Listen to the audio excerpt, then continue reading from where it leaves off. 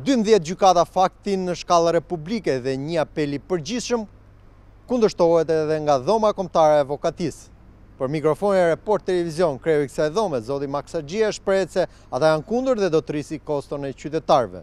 Kam patur një takim me kryetarin e KLG-së. Ajo shpjegoi që gjykatat nga pikëpamja administrative do rrinë ashtu siç janë, po për efekt të mungesës së gjyqtarëve do të grumbullohen gjithë në qendër, në Tiranë. dhe... Flasim për apelet. Për apelet, gjithmonë për apelet. Dhe dhe kjo do jetë një e përkohshme derisa të plotësohet numri i gjyqtarëve në për këto gjykata të apelit. Po për sa i përket gjykatave të faktit janë 22 aktualisht eh, eh, do të po- shkrihen 10, për shembull Tropoja, Pogradeci, po, Saranda. Kjo është kosto që do i rëndojë qytetarëve. Ju jeni pro apo kundër? Jo, unë jam kundër kësaj.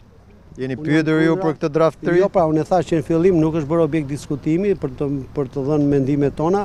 Nga ana tjetër, burime për Report Televizion nga Këshilli i Lartë Gjyqësor bëjnë me dije se në fillim të muajit nëntor do të nisë konsultimi publik. Ndërkohë për draftin e hartës së re gjyqësore ka reaguar dhe kryeprokurori Olsian Çela. Sipas tij, rigrupimi i prokurorive do të krijojë një shpërndarje më të drejtë të punës mes prokurorëve si dhe një ngarkesë të përballueshme. Por prurjet e reja janë çelësi i zgjidhjes. Report TV ka mësuar se drafti është diskutuar dhe me Ministrinë e Drejtësisë dhe do të jetë Këshilli i Lartë Gjyqësor me njëmbëdhjetë anëtarët e tij që do të vendosë për fatin e saj.